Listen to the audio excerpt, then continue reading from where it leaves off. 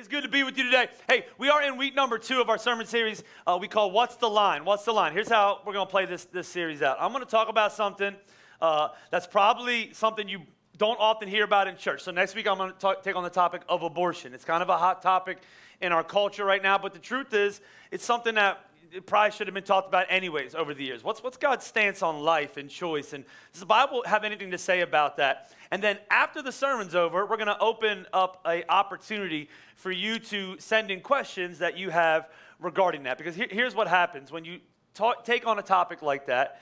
It's often like opening a can of worms. Did you guys know on Amazon you can get anything, even a can of worms?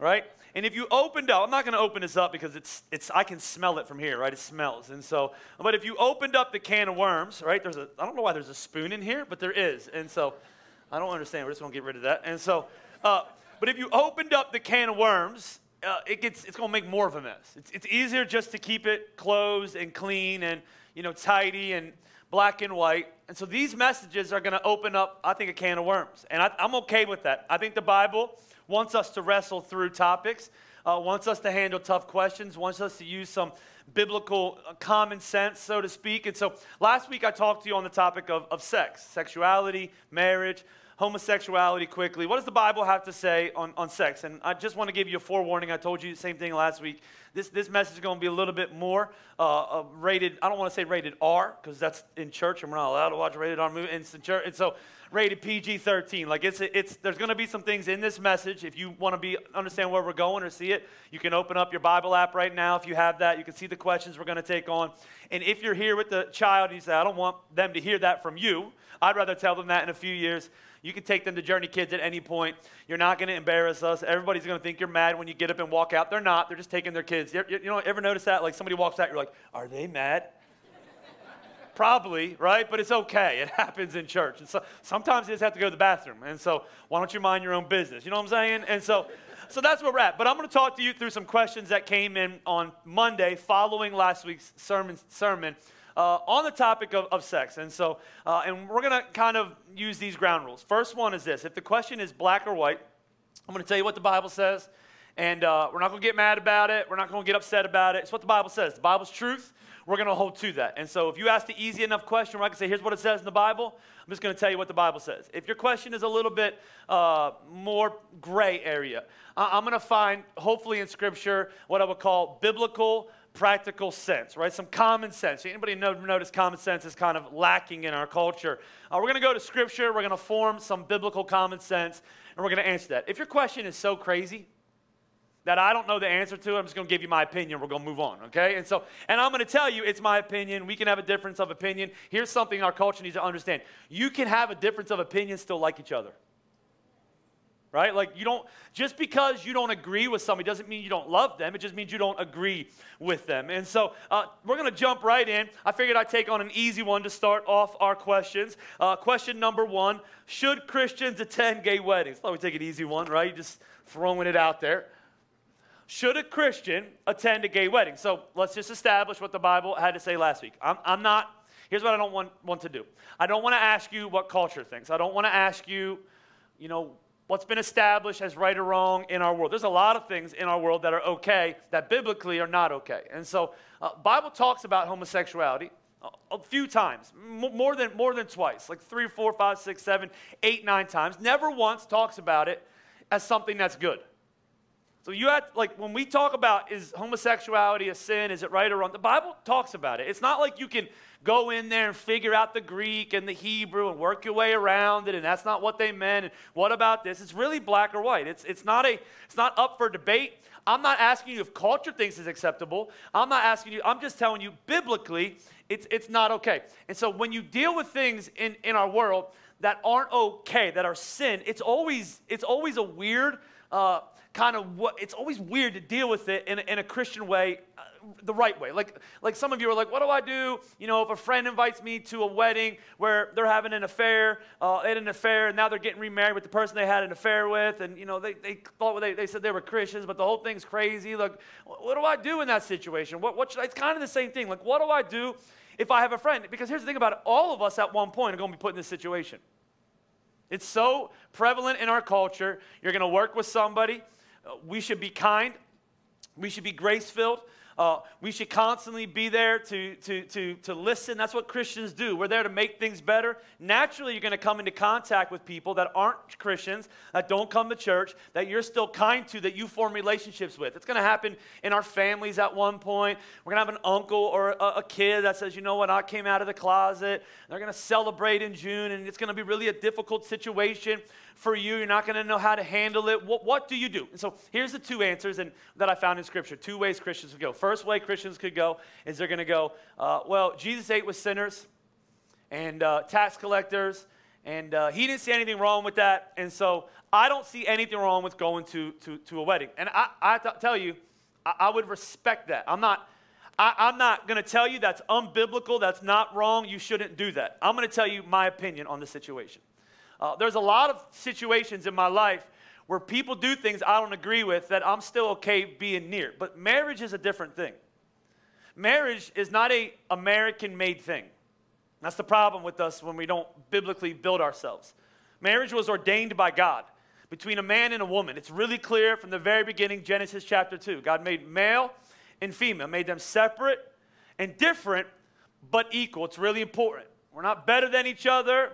We complement each other. We complete one another. If you know biology, we go together. Are you tracking with me? God, God did a good thing in that situation. He made marriage between man and a woman. So I'm not worried about how the world is defining marriage. I'm not worried about it. They're saying love is love. I'm going to go to the scripture. The Bible says that marriage is between a man and a woman. Here's the second thing when you go to a wedding, it's different than going and eating. You go eat with somebody, you're at a, you know, a party with somebody, graduation with somebody, sitting at a table with somebody at work. These are different than going to a wedding. And here's why. When you go to a wedding, your presence there is signifying that you approve of what's going on. That, that's why you're there. I don't know about our culture, but the reason you're invited, I'm a pastor, so I did a wedding yesterday. I stood here, a man and a woman walked up here, and they invited 25 of their closest family and friends. You know why they were there and I was there? I was there because I legally can marry them. They were there because they love each other. Their family was there to support them. Most important person there was God because God ordained it. So every person who was there, they used to ask this. They used to say, if anybody, you know, has a problem with this, speak now forever hold your peace. We don't ask that anymore because everybody has a problem with it, right? we don't even give people that option because we're afraid of the scene. But in old days, you were there to approve. And I, I, for me, I feel like a hypocrite when I approve of something that the Bible says is sin, and the Bible says sin grows and brings death. So if you were to say to me as a pastor, would you go to a gay wedding because you love and you want to be like Jesus? And you, I would say, I would say, if I had a friend that invited me to a wedding that you know knew where I stood, invited me, I would sit down with them. I wouldn't call them. I wouldn't just decline it. I wouldn't not RSVP. I wouldn't ignore them. I would sit down with them and I would clearly state here's what I believe about marriage. Here's, here's what the Bible teaches. Here's what my faith is. I love you, but I can't approve of what's going on. And here's the goal. When it hits rock bottom, because the Bible says sin grows and brings death, I want to be where I'm supposed to be to lead them to Jesus. If you walk with them towards sin, guess what happens when both of your lives fall apart? You look back and go, oh crap, one of us supposed to stay there. Story of the prodigal son. Prodigal son leaves, the father stays. You ever notice that? The father doesn't go with him and say, let's both go sin. The father stays because he knows his son's life's going to fall apart. And when his, son's life falls apart, the father is there to meet him when he comes home. This is the role of a Christian. So if you ask me, would you go to a gay wedding? I, I, I wouldn't because I don't want to be a hypocrite and approve of something that the Bible says is a sin. Okay? We started with the light one. Let's move on. Uh, this one's always been awkward, but I figured we get the awkward one, one out of the way. Let's go. Number two. Number two. I like this one. I'm a single virgin man in my mid 20s with a house and a good job and I like being single for the most part. I broke my porn lust many years ago and remain celibate. I do desire marriage, but I honestly have bitter feelings about relationships from just seeing other men dealing with the stresses of it all. It's a big turnoff.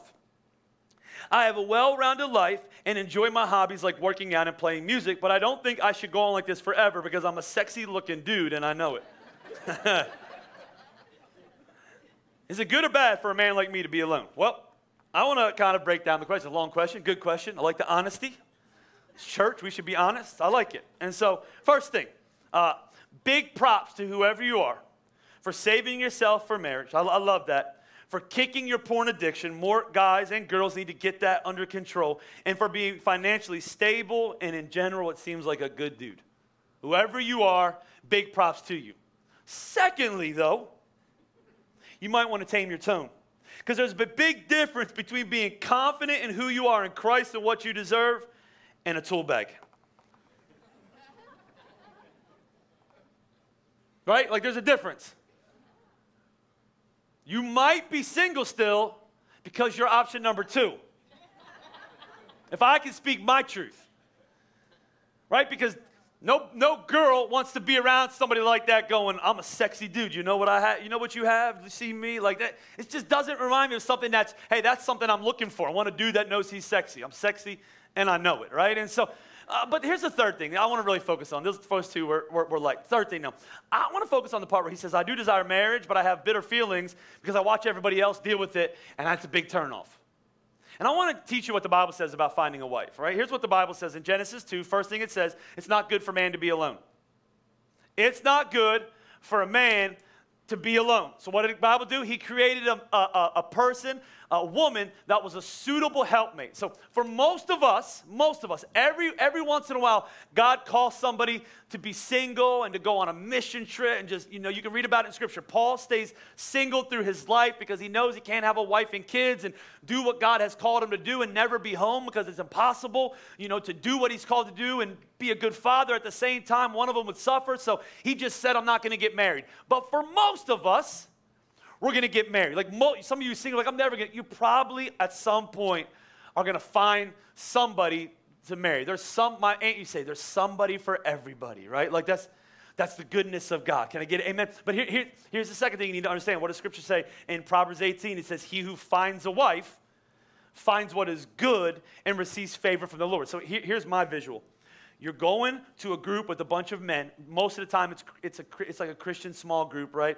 Which, if you're not careful, a bunch of Christians turn into a bunch of whiners. You ever been around that? You're like, all we're doing is complaining and all this stuff. And you have a bunch of guys sitting around a campfire, and all of them are talking about how hard it is to be a, husband and how naggy that their wife is, and she wants to talk to them all the time. And she has expectations like paying the bills on time, and she won't let me play video games anymore, and all these things. And you have all these guys are whining about it, and the kids, and we, we, we differ on how we should raise our kids, and she's this, and she's opinionated, and she's this, and you're looking at a single guy, and you're telling a single guy all the bad parts about being, being a, a, a husband, and what does the Bible say? The Bible doesn't say that. The Bible says, he who finds a wife finds a what? What does it say?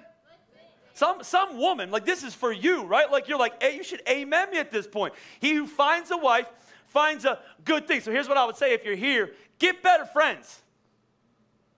Find guys that know what they have, that know how valuable and, and precious and, and, and, unique, unique that their wife is, and, and how, how significant it is to be able to be the spiritual leader of their home, where, where you, you, you love taking care of your family, and you love making your, wife, your wife's dreams come true, and, and you love talking, like even all the time, just talking, talking, talking. And you put that in. In fact, one pastor said this. I love what he said about women. He said, Females are incubators. I love this. This is so true. He said, God made them that way, which is why whatever you give a woman, she multiplies it and gives it back to you. I want you to think about this, this truth now. Watch this. You give a woman sperm, she multiplies it, gives it life, and gives you a baby. You give a woman a house, she multiplies that, and she'll give you home. You bachelors know what I'm talking about. Sitting up on an egg crate somewhere, right? You move a female into there, into that same place, she turns that often into a home. You give her groceries, she multiplies that and gives you a meal. You give her a word, she multiplies it, gives you a sentence. You give her frustration, she multiplies that, gives you hell right? You can always tell what you're giving a woman by what she's giving back to you. If you don't like what you're getting, change what you're giving. Find better friends. Find friends that understand that about their wife. Like, I, if, if she's getting on my nerves, it's probably because I'm getting on her nerves. I had things to work on, right? Because finding a wife, I got to tell you something. Finding a wife, just like scripture says, the right wife changes everything about your life. I, am not here where I'm at. Some are like, well, you, what, how'd you do what, how you do what you do? How, what, you know what? How do you get to this place? Leah. She's my greatest filter, my discernment, my Holy Spirit my, in this world. She, she, she's smarter than me. She's wiser than me. She has kept me from saying things on a Sunday morning that would have got me fired. She's the only one after a service that will say to me, Don't say that again. That doesn't make sense. Use better examples. You, you did the same thing over and over again, right? You talk too long. You, you stutter too much. You talk too fast. She's the only one that's in my life that will speak that directly to me. She makes me better. If you're around guys that are complaining about their wives, get better friends that understand the significance about that. Can I get an amen, ladies? They're a gift. Number, number three is this. Number three is this. Oh, what is the difference between finding someone attractive and lusting after them? What is the difference between finding someone attractive and lusting? And then they ask, is it appropriate to lust after your significant other prior to marriage? And so I, I just, I want to kind of open up what, what lust is because here's the thing lust is one of those things we don't talk about in church. It's like it, you, you, you can pretend you don't do it, right? Like it's, it's often in your head. You do it in private. You do it when no one's, there's a bug up here. Do it when no one's watching. I see it. It's flying around my head. Uh, you do it when no one's watching. You, you, you struggle with it, pretend you don't. You wear sunglasses at the beach and pretend you're not looking. You on your phone at nighttime, no one's paying attention. You erase your history on your phone. You don't, you don't put covenant eyes on your phone. You don't want people telling you what to do. It's one of those things from a very young age. If Satan can get a hold of you, he will, like from a very young age. First time that our kids are seeing pornography right now, average age is seven. Seven like se- seven years old. So if you're, if you're not talking about these things with your kids, somebody else is. So I want to talk about it because it's significant. What's the difference between looking at somebody, finding them attractive, and lusting? Well, so I'll break it down like this, just so you understand what the definition of lust is. Lust, if you understand it, is the intense or unrestrained sexual craving. Here's what Jesus says about lust, by the way. He's really clear about it in Matthew chapter 5. You have heard it was said, you shall not commit adultery. Like that's one of those ones we like we know. We're not supposed to sleep with somebody who's not our spouse. That, that's bad. Jesus goes one step further and he says this. But I tell you, anyone who looks at a woman, you can change it if you're if you're a girl and you look at, at a guy lustfully, has already committed adultery with her in his heart. What he's trying to say is oftentimes we make that external action bad, but we don't understand internally our mind, what we're thinking about, what we're focusing on, is actually a breeding ground for death in our lives. So, what's the difference between lust and, and, and, and looking? Well, I think looking is like a drive by, you know, thing. Like you, you drive by, you're driving, you see a girl, you see a guy, even when you're married. That's, a, that's, a, that's an attractive female, that's an attractive male. That's very normal. Like, I, I'll, well, hey, that's a good looking dude right there, right? Like, how you doing? Where you, do, where you get your hair done? Like, that's very normal, right? Lusting is when you set a camper up and you park there and you begin to imagine in your head that person, what they look like. You begin to take their, their, their, their clothes off, or maybe imagine what it would be like to be with them. You allow your, your thought life to take you away from purity in your life. Uh, you, you, you look at things you know are pulling you away from, from uh, the sexual, sexual path you're supposed to be on. Of, of uh, you, you, begin to set up camp there, and you just, you there, there's a difference. Do you see what the, the, the definition said? I love what it said. It said, it said unrestrained sexual craving. And here's why because God has given us how to restrain it. What, what do you do with your sexual craving? Very normal, by the way. I hate this too. Your kids start getting old enough, they start getting in- interested in the opposite sex. And if you're not careful and you don't communicate early enough with them, that, that desire begins to create shame in their life where, where they go to opportunities that, that they that just put baggage in their life. And by the time that they get married, they can't even talk about these things that they have because they're so filled with shame. That, that desire, what's inside of you, that desire to be with a woman or a man, very normal. God gave that to us, but He wants us to restrain it. So, what is, what is the restraint? What is the protection? Marriage. That, that, that's what the Apostle Paul says. Watch what he says in 1 Corinthians 7. Living in a culture very similar to ours, he says, But since there is so much sexual immorality occurring in the church and in the world, he says, each man should have sexual relations with his own wife and each woman with her own husband. The husband should fulfill the mar- her marital duty to his wife, and likewise the wife to her husband. Some, sometimes I think we listen to verses and everything's passing us by, and then you catch the attention of a dude in this room. He's like, I can, I'll, I'll write that one down. I'm gonna fulfill that. We're gonna have to talk. We're gonna have to. We're going to lunch, have a conversation, business meeting, right? Like we're gonna. The wife does not have authority over her own body, but yields it to her husband. In the same way, the husband does not have authority over his own body, but yields it to his wife. I feel like, guys, this one's easy for us to obey, right? We're like, woo, right? You can have all this, right? Like, this is easy for men. But he's telling us here's the, here's the restraint. In marriage, my body is your body, your body is my body. Me and you are together. We become, we become one. Do not deprive each other, except perhaps by mutual consent and for a time, so you may devote yourselves to prayer. What's the one reason you shouldn't be doing it? You ain't been praying that much, don't lie. Don't, don't be careful. Here's the restraint. In marriage, pursuing healthy sexuality together, he says, he says, then come together again so that Satan will not tempt you because of your lack of self-control. Because there's so much of a lack of self-control. Now let me just let me just add on to this. Lust, uh, if you struggle with lust, marriage won't fix that. Let me just make sure you understand that. Lust is something, that young guy said, I've, I've overcome my porn addiction. Lust is something you need to handle or it will destroy your marriage. Your, your married partner was not given to you, so you will never lust again, right? Because that's not, that's not the issue. The issue is you constantly are engaged in a thought process that's leading you towards death. And so instead of focusing on other people who are not your wives, thinking about people that, that's not your husband, thinking about what their body's gonna look like, you look at your, your spouse, you make them your standard of your beauty, of beauty, you focus on them, you put your effort in them, you value them, you build intimacy with them, which means intimacy. Did you ever notice that? You become one with, with, with, them. And so, how do you overcome lust? You, you run towards a healthy view of sexuality in marriage. You focus your thought life. Number four is this. I think this is interesting. Somebody then asked, Why are we not allowed to have sex before we get married? And is masturbating a sin? I told you, if your kids are in here, you might want to take them out. And so, uh, and I'm going to be as uh, vague as I can be with this one as I, as I can and still hit it because I don't, I don't want to be overly detailed. Uh, but somebody asked, you know, what, what, what about that? Because lust often leads to that. So is that the way out? So I lust, uh, and then I go by myself and I do this thing that causes me shame and causes me embarrassment and causes me this, and is it a sin? The first part of the question is we already know it's a sin. I don't even need to answer it. Next question. Why, why, does God say not to have sex till you're married? Why, why, can't you? God says. Like it's just, it's over and over and over again. Hebrews 12 is one of my favorite verses. Marriage should be honored by all, marriage bed kept pure. And then he tells us, for God will judge the adulterer and the sexually immoral. He's really in to protecting sexuality in marriage. It's really important.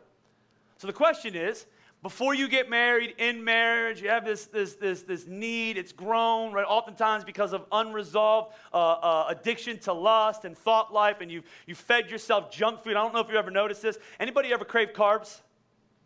Anybody ever crave sugar? You're like, I'm not going to eat sugar. You eat sugar tomorrow, right? I'm never going to eat a donut again. You eat it. I'm never going to eat a donut again. The next day you see a donut, you crush it right? You're like, I'm never going to eat carbs. I'm there because you fed your body. This, this is the answer to lust. There's two, there's two things I, that I've experienced in my own life. First answer is truth and light. You bring it, truth and light, right? Second answer is starve it. Second thing, starve it. Starve it. Don't even let your body have it. Get off every app you can get. Get rid of shows. Stop watching shows that have nudity in it. Stop calling it art. Don't go on Instagram. Let me tell you something. If you're, if you're a dude and you struggle with lust, you shouldn't be on Instagram, TikTok, or anything else like that. They're all full of trash. You don't need any of them. You starve it in, in your life. And the problem is, if you don't starve it, oftentimes it leads to this act where you're self fulfilling and, and, and, and doing things that you would say, man, they're bringing shame and embarrassment to my life. And I think this is so interesting. So Jesus says in Matthew 5, he says, uh, don't lust, right? Stay away from lust is like committing adultery. Watch what he says in the very next part of the passage, Matthew chapter 5. I think Jesus is either telling a joke here, being humorous, or sending us a subliminal message, right? Because the Bible never talks about this topic straight on. Watch what Jesus says. And if your right eye causes you to stumble, gouge it out and throw it away. Let me, what's the one thing that causes us to lust? What is it? Where does it start? Our eyes. He says, if your right eye is causing you to stumble, take it away, right? It's better for you to lose one part of your body than your whole body to be thrown into hell. And then watch this what he says. I love this. Jesus is so good. He says, And if your right hand causes you to stumble,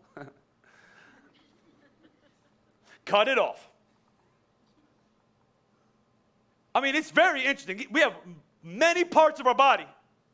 And when Jesus is talking about lust in the very next passage, what does he say? Your eyes, your hand. The very things we use to do this thing that oftentimes creates so much shame in our life. Let me tell you why I'm not for doing this, why I think it's hurting your marriage, why I think it's pushing you away. Sex is about connection and communication, spirit to spirit communion with the person that you love in marriage. When you masturbate, there is no other person, so an emotional misfire takes place.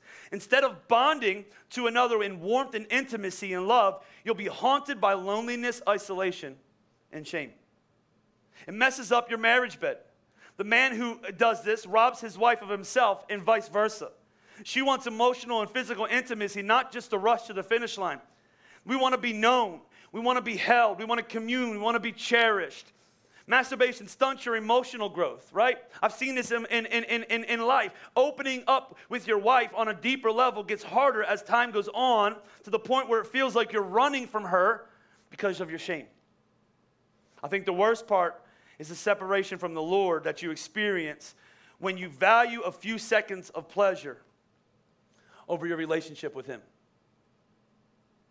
So I, I, I think it's toxic to your soul. And I get it. Single guys, you're like, yeah, but I got needs. And, you know, if I can't do that, I'll die. I, can I just, scientifically, can I just tell you something? You won't die if you don't have sex. There's two things you need for life. Do you know what they are? Water or air. Sorry, three things air, water, and food. Right? I know some of you say, I'll give one of those up if I can have sex, right? But you don't need sex to, sex to live. And so, once again, what are you supposed to do? What are you supposed to do if you're struggling with lust and masturbation? Get yourself pure and then pursue not only God, but then begin, after you pursue God, begin to pursue in a godly manner a girl that you can marry.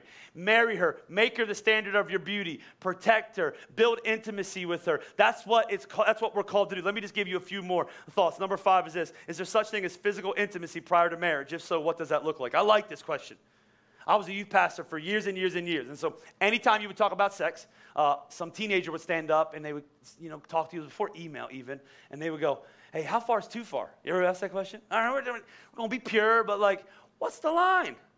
Like, how much can I do and still it not be sin? I remember a few years ago, uh, we preached on this, and some, some young, a younger lady, but she wasn't even that young, she was a little older. She had this question. She's like, Yeah, I want to be pure and all stuff, but I have this boyfriend, and, and we like to cuddle naked. Is that okay? I had more, more questions than I did answers. if you can cuddle without having sex, like, what? You probably shouldn't be dating. That's weird, right? Naked, like, and I'm like, no, you can't do that. Why are we even talking about that? Next question, right? Well, we do this. We do this. Like, how, how far, how far is, is too far? Like, what can I do and get, get away with it? And he, here's, for, just for time's sake, here, here's the short answer that I, that, I, that I would give you if you ask this question. How far is too far is, is the wrong way? I think the, the question is what is going to build up this relationship? What's going to honor God? And what's going to promote growth as we both pursue God's future for our lives. What, what's going to what's going to build us up together? What, what's going to, we, we don't ask that enough. What's going to honor God in this situation? And what's going to promote growth? That's what the Bible says in 1 Corinthians 6. Once again, talking to a very promiscuous culture, Paul says, I have the right to do anything. I have the right to do anything. That's what they were saying. But he says, but not everything is beneficial. I have the right to do anything, but I will not be mastered by anything. He goes on in verse number 18. Here's what he says to them Flee from sexual immorality. All their sins a person commits against themselves are outside the body, but whoever sins sexually sins against their own body. Don't you know your bodies are temples of the Holy Spirit who is in you, who have you who you have received from God? You are not your own. You were bought at a price. Therefore, honor God with your bodies. What promotes growth? What honors God? What builds us up? Uh, for years, I've been talking to people, giving them the same kind of thoughts that I think are really practical steps. Like, here's one if you're dating somebody, you're trying to remain pure sexually, don't be alone together. So I'm like, that is so lame. Like, we, how, are we gonna, how are we to grow together? How are we to get to know each other? How are we to? You will. You, like you will. Build, build it healthy. Promote promote health and you're like don't be alone together. Don't go into each other's apartment and ha- ha- hang out. Don't be alone. Spend time around other people. Keep yourself accountable. Here's another thing i always tell people. Tell somebody else what your boundaries are going to be. Here's what we will and will not do. Here's the curfew we set for ourselves. Like sometimes i think we like to overthink because we're playing the gray nothing good happens after 10 p.m can i am i preaching right after you get married you're to be in bed at 9.30 anyways like, don't, don't be alone together late at night, parking somewhere, listening to love songs, right? Aerosmith, don't wanna go. You know what I'm talking about? Nothing good's gonna happen. Here's another one. When you're together, keep all four on the floor. Somebody, somebody would put that online. Like, what does that mean? And I'm like, well, listen, when you sit together on a couch and both of your feet are on the floor and you've got your arm around each other, usually nothing, that's not that comfortable, nothing bad is gonna happen. But oftentimes we go from having all four on the floor to spooning on the couch. And can I just tell you something that was taught to me a long time ago that is true? Spooning always leads to forking.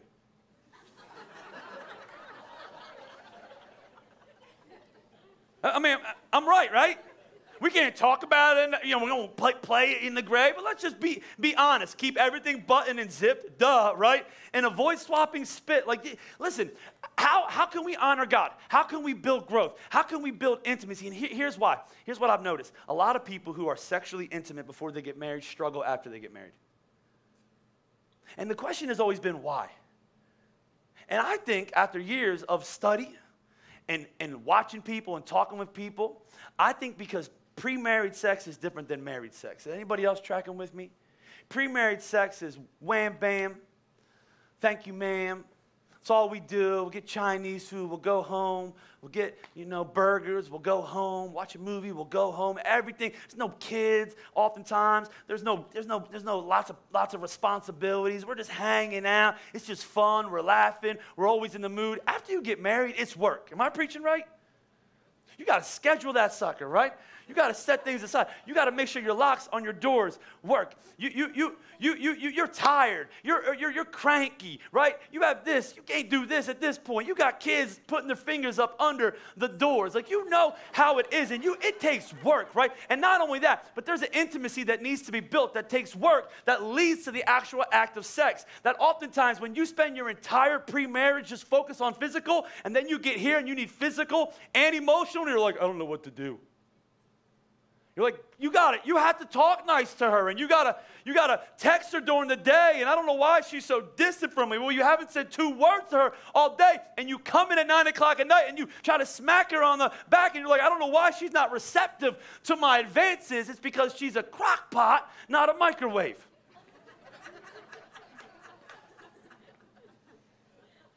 and if you wanted to get to that point where you're eating pot roast, if you're tracking with me at nine o'clock at night, you got to turn it on at six o'clock in the morning, right? what can you do to be a blessing? Am I, am I talking right?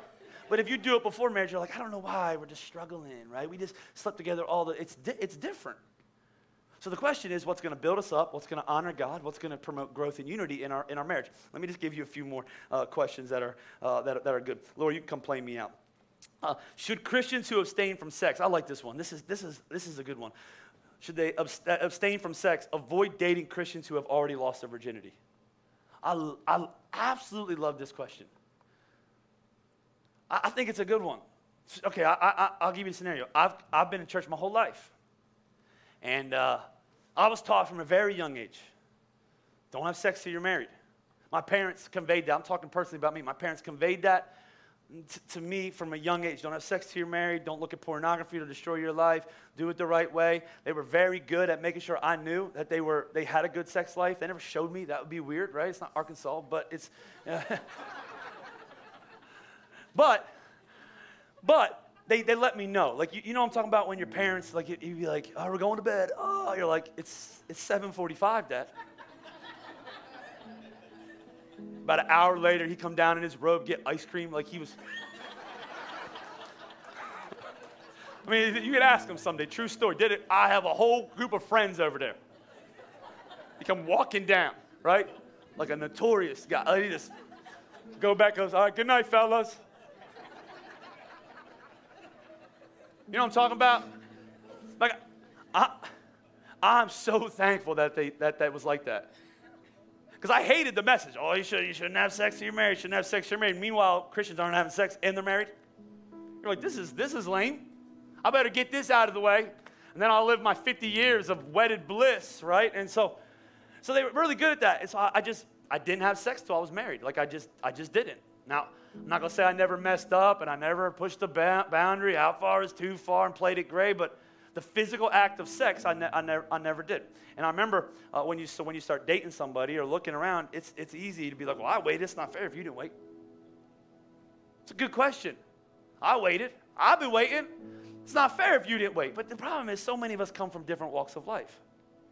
So, what happens if you waited and you met somebody and they came from a different background? They came from a background where their, their dad was gone. So, the girl never knew her value of, of, of, of who she was because the father was never there to build her up. And so she constantly looked to, to men to, to build her up and thought she was only valued based on her body and how many likes she has. And so, you know, she gave her body away to a bunch of people and, and had sex, but then she gets crazy saved. Like crazy saved. Like she breaks up with the guy, she takes her Instagram feed down, she starts dressing in a way that glorifies God. She doesn't need the validation of a man. You know what I'm talking about? Like crazy saved. Like like like don't typically see it. And I met that girl, right? And I was doing my thing and I was trying to be faithful. And I met her and she began to share with me, I, have been here, but I've been radically saved. I started thinking, would, would I go, no, no, it's not, it's not fair. And I, there's other situations I've, I've seen in church. Like, what about the, the, the girl who has kids, right? And then her husband leaves her and she's been left with kids. So obviously she had, she's had sex, right, in, in her life, maybe even prior to her, to her relationship. And then she comes to church and she gets saved and she meets that one guy that's been saving himself for years, right? And she has kids and she's already slept around. They're a little older. Uh, what I tell that guy, I shouldn't date her and marry her because uh, she's already had sex. She's used goods. Or what I say, what a story of redemption. You've been a godly guy, you've got your situation in order, and now not only do you get to be a husband, you get to be a father. You missed 10 months of pregnancy three times. Lucky you. Trust me. That's a joke. There's way too many pregnant ladies in this place. We are all cool, right? It's cool. So here, here's my response. I thought about it. I'm like, here's a response. Uh, following Christ in, in, this situation is not so much, the question is not so much where you've been. Where, where have they been? The question I was always asked, where are they heading? Where, where, where are they headed? Bible says not to be unequally yoked. So if you meet somebody and they have a past, but they've been saved and they're serious about their faith and they're heading towards Jesus and you're heading towards Jesus, our, our, our, our, faith is about second chances and grace and mercy and being restored and, and, and Jesus giving us back what Satan has tried to steal from us. But on the flip side, sometimes we begin as Christians date somebody, and it's really clear, really quick that they go to church, but they're not a Christian. Like I, I meet girls, like I can't find. I, have had this conversation with a young girl. She was like, "I want to find a Christian husband and marry somebody, but I literally can't find any in church that are serious about their faith and don't want to sleep around." And I think to myself, I am so grateful that I don't have daughters in this world because I hate hearing that. If you were a little older, we could work something out. I got a 14 year old, but you're too old. And so, and here's what I would say to that don't settle. You start dating somebody and they start pers- pushing you in that area and they start pressuring you and they start talking about how they just can't control themselves and they have a lust problem and you're their only way out and they can't do this and they can't do that. Here's what you're going to do you're going to put your foot backwards like this. I'm going to show you exactly what the Bible says to do. You're going to turn your foot sideways like a soccer kick and you're going to kick them to the curb. This is simple. Let me, show you again. You're going to take your foot and you're just going, and you're, you're never going to settle because listen, listen, God has somebody better for you. It's not that they, they can't be changed, but you're not, you're, you're not there to missionary date, right? He doesn't call one of us. We're, we're not missionary daters, right? Doesn't tell you to go out into all the world and date people, right? So you're just going to say, I'm not ready for you. I'm going to set my boundaries high. I'm going to, I'm going to do what God has called me to do, and I'm going to allow Him to bring the right person into my life. And let me just end with two more questions that are really serious. Number, number seven is this What does the Bible say about leaving an abusive marriage? What's interesting is we, we asked for questions on Monday. This is similar questions that I got uh, in 2020 when we did a sermon series called I Hate My Marriage. You guys remember if you were here? I don't know if you were here for that. And uh, we did this series, and then we were going to answer questions the last week, and COVID happened. So you guys were gone. I had this probably 12 pages of notes, right? And uh, I just didn't think it was fitting to answer questions about dating and sex when we thought the world was ending. So we tabled that, and I uh, pulled it back out this week as we started to go through questions. I just wondered if some of these questions were the same. And this question was asked two or three times. And the question is I'm in a marriage. Uh, this one's abusive. Some of them were, were abandonment. One of them was abandonment. One of them was I, this person had an affair on me. What does God expect me to do? Because there's this faulty teaching in church that basically says uh, once you're married, you're married forever. Once you're married, you're married forever. No matter what that person does, uh, you're stuck with them. Which, if you're single, be really picky with who you marry. But the Bible never says once you, you marry, you're stuck with them forever. Here's what the Bible does encourage us to do do everything you can to work on your marriage. Everything. Go to a counselor, get, get accountability, put work in. Remember that the greenest grass always gets the most water, right? Sometimes you're looking at it, you're like, the grass is so green over there, right? They're watering it. So stop looking at the green grass in your neighbor's yard, get the weeds out of your yard and, and water it, right? Like spend time investing in your spouse. But sometimes you get to the point where even though the Bible says God hates divorce, like Malachi, God doesn't want you to get divorced. You get to the point where you're in a, you're in a relationship that's just broken. What does God expect you to do? And uh, I'll give you just a story of, of an experience I've had in my, in my life because I very rarely have ever told somebody to get a divorce. Very rarely, right? Like God doesn't want that to happen. God's will is that you stay married. But there is times when Scripture calls for it. Uh, and so years ago, we had a guy and a girl in our church. They, they were our friends. And uh, they were so friendly with us that they had been to our house multiple times. And they were actually working uh, kind of not on our staff, but they were helping out at church. Lead, he led worship. Like this was the, the situation. And, um, and they were married, and he started having an affair. He got caught. And it, as always, when you get caught, you apologize, right? That's what we do. We don't apologize before we get caught. We apologize after we get caught. They were in my house on a Saturday night, and uh, it all came out. They wanted to talk about it. We were talking about it. And uh, the woman was, she was just a saint. She's like, I want to I wanna stay and work on it, which is, I think, what God's will is initially. I want to fix this. I don't want to break up and mess it. I want to fix this. I, I, I committed to this through the ups and downs. You messed up. Let's fix this. If that would have been the end of the story, we would have been good. Uh, but he kept cheating, kept cheating, kept cheating, kept cheating. And uh, I remember one Sunday she came in and she said, He's doing it again. And I looked at her, I said, What do you want to do? I was like, I'm just telling you, the Bible says you can get a divorce. Like, I led her to that because there's so much guilt there. I led her to what the scripture says about being unfaithful in your marriage. And even in that situation, she said, I still, I want to stay with them. I want God to change them. The Bible talks about how the grace from a wife can change the heart and heart of a husband, and I want her to change them. And so I said, listen, I listen, I'll believe with you and I'll pray with you and I'll work with you and I'll do all those things. But if you say the word as your pastor, you're ready to go, I'm gonna bring a trailer, we're gonna move you out. Make sure he's not there or I'll kill him. And I remember I got a call just probably six, seven months later, I don't remember what it was, and she said, Hey, he's doing it again. And we pulled our trailer out, and uh, we, me and Ian and uh, uh, and a few other guys pulled up. We got breakfast first, and we were ready to go. And we, we moved her out of that home. And there was not one ounce of me that was like, this isn't God's will. I was like, she's a young girl. She has no kids. She doesn't deserve this. She's a daughter of God. And God has something better for her. And I can tell you right now, God has something better for her. So if you're in an abusive marriage, you're in a marriage where there's, there's, there's neglect, hardened heart, all those things, do everything you can to fix it, but you're not stuck.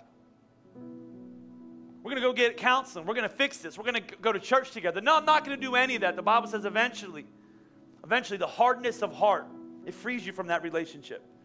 Divorce, divorce is, is probably the last option, but I, I want to, some people, I feel like it's like this guilt, like, oh, can I get divorced? It, there's times where stuff falls apart and God has something better for you, which I want to remind you, single people, be picky with who you marry because who you marry makes the difference in your life. Be, be picky with who you marry. Nothing worse than being married to the wrong person. Can I get it? Amen? That's it? Can I get it? Amen? Some of you worried, you're like, I'm sitting by him right now. and the last question, last question. I, I want to end with this one because anytime you talk about sex, um, there's always a lot of guilt in the room. Just it, like it, I told you, there's always a lot of shame. there, there's always a lot of condemnation. And so this, this, this person wrote this, and I love this question. She says, uh, My boyfriend and I had sex before we got married. He's my husband now, but I personally feel that I haven't healed from that sin, which, by the way, is what Satan wants. Satan loves to get you to do something against God's will, and then he wants you to carry it around the rest of your life. He loves that. It's called condemnation.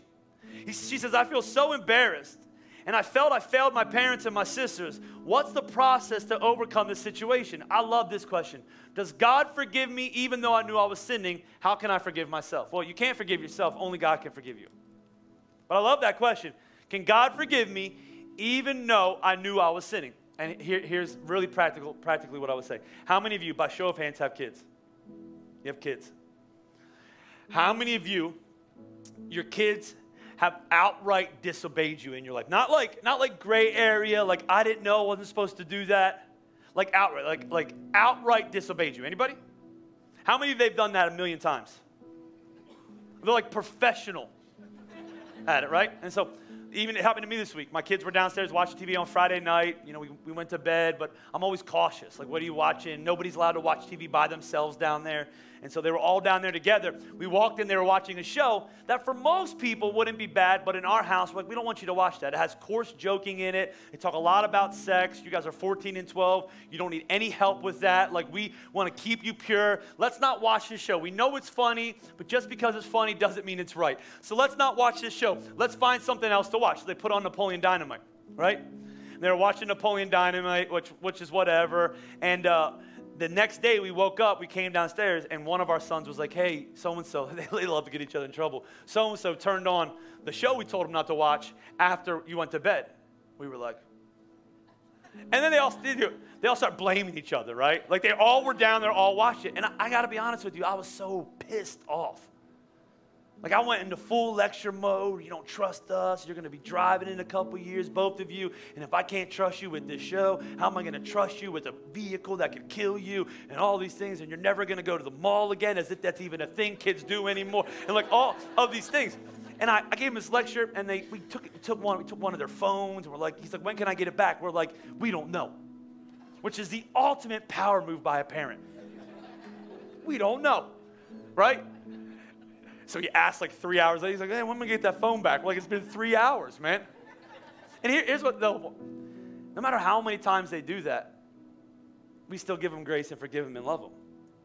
And I'm an awful father, earthly father compared to the heavenly father. So I, I just like, I just want you to understand, even though you knew you were sinning, when you come back to Jesus, you repent, you turn your life back to Him, immediately He forgives you as far as the east is from the west. He's that good. The Bible says where sin increases in your life, grace increases all the more. In fact, my favorite story in Scripture about a comeback from a sexual failure is the story of David. David has it all and he messes up. He has an affair with Bathsheba. She gets pregnant. Their first baby dies. It's a really sad story. And he has this understanding in Psalms chapter 51. He writes this because I think when you mess up, you want to you want to feel the weight of it and you want to prove to God how sorry that you are. And here's what he says in Psalms 51.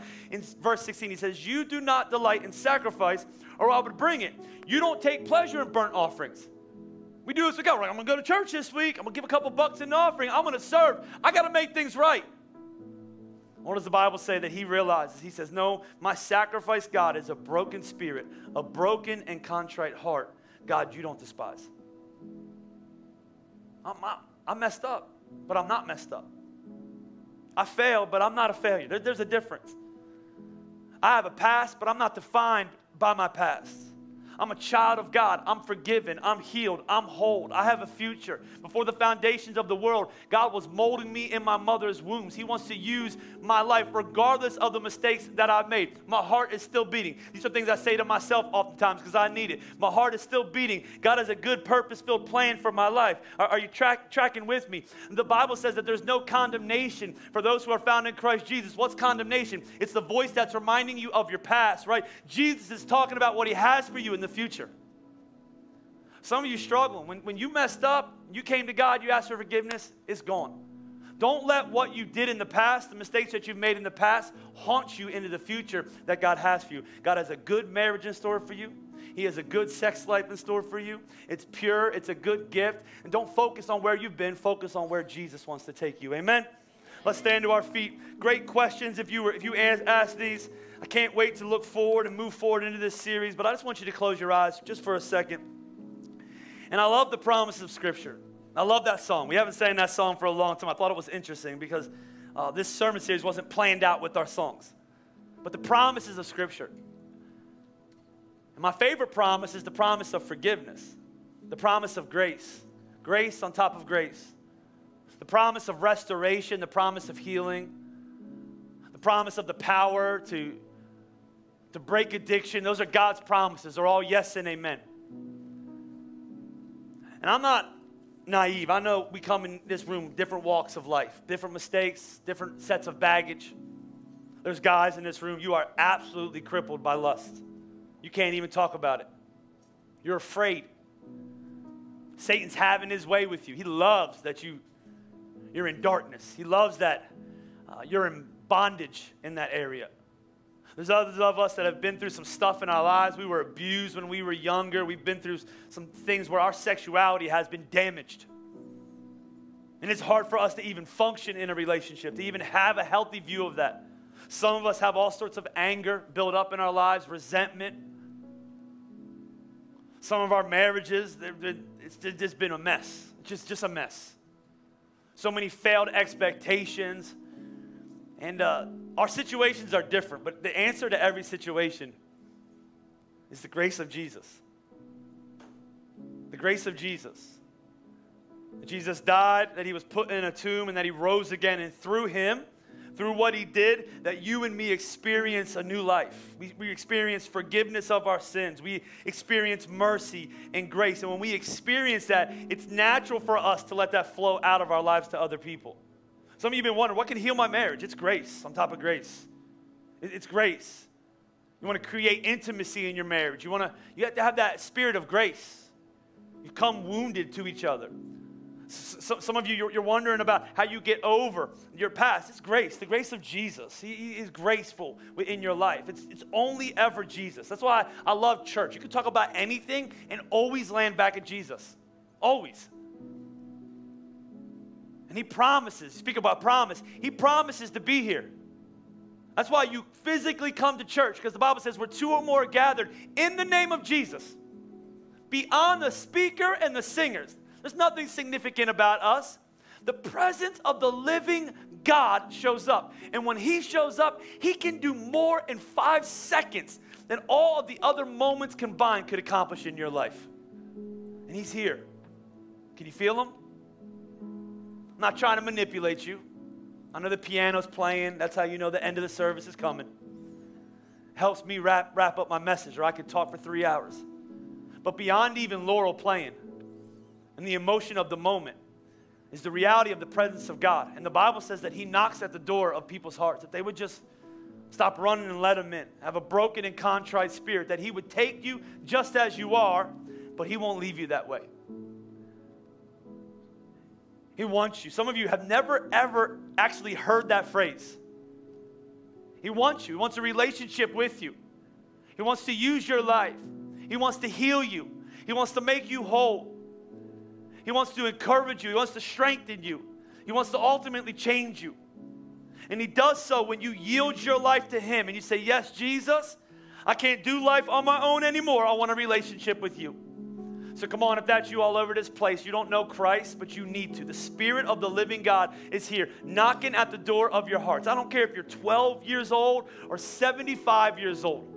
We all have the same need. It's Jesus Christ. I need Jesus to come into my life right now. I want to confess with my mouth and believe in my heart that He's Lord, that He died on the cross for my sins, that He rose in power, and He defeated both death and hell. He paid my sin in full I want to leave this place a brand new person in the name of Jesus Christ. If that's you all over this place and you're ready to welcome Jesus as your Lord and Savior, I want to pray with you as we close, but I want you to do one thing for me.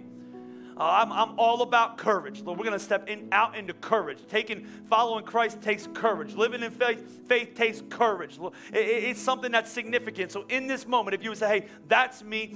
I don't know Jesus Christ, but I want to right now. Front to back, side to side, I want you to do something. I want you to stick your hand straight towards heaven and say, you're speaking to me right now. I'm tired of living a life of shame. I see a hand right here. I'm tired of living a life of condemnation. I'm tired of carrying the weight of my past. I want to leave this place in freedom. There's another hand right here. Is there anybody else?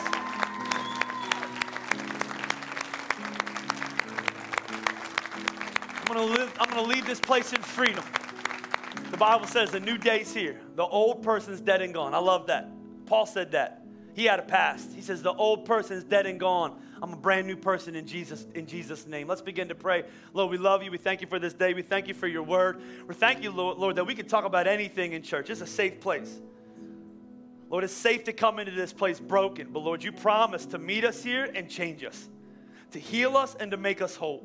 So, Lord, we're thankful, Father, that Jesus, you're meeting people right here in this moment, and you are becoming the Lord and Savior of their life, Lord. You're healing what's been broken, you're restoring what's been stolen. Lord, you're filling their life. They can actually physically feel this right now. You are filling their your life with their, their, your presence, Holy Spirit, right now, power in their life, Lord. Lord, joy and peace and, and strength is coming into them. Lord, you're going to break what's tried to hold them. Uh, Lord, you're going to walk out of this place with them. Lord, they're going to feel your freedom freedom. They're going to feel your love. They're going to feel your joy. They're going to, they're going to experience something life changing in this moment. And Lord, when they leave this place, they're going to stand on the promise they're a brand new person. What was true of them is no longer true of them. That their sin is forgotten as far as the east is from the west. Lord, you're going to walk into the future with them. Lord, thank you, Lord, that their best is yet to come. The best is yet to come. Thank you for all that you're going to do in, the, in, the, in this, this sermon series, Lord, for the questions that are going to be asked, uh, Lord, for the conversations that are going to continue, continue to be had in our homes, Lord, around our, our tables, Lord, in our cars, Lord. Just continue to build us into the people that you've called and created us to be. You're a good Father, and we're loved by you. That's who we are. In Jesus' name we pray. One more time. Let's shout amen together. Let's clap together one more time. Hey, before you leave, we wanted to say we're grateful you joined us for church. It's our goal to make everything easy to understand, especially for those who don't go to church. We hope you heard something today that had an impact on your life and left you feeling encouraged. If you want to hear more from us, follow us on social media. Search JRNY Church wherever you listen to podcasts and check out more experiences on Facebook and YouTube. We're live every Sunday morning at 945. If you live in Pennsylvania and are local to the Phoenixville or Montgomeryville area, visit our website, jrny.church, to plan a visit. We'd love to host you in person. Have a great rest of your week. See you soon.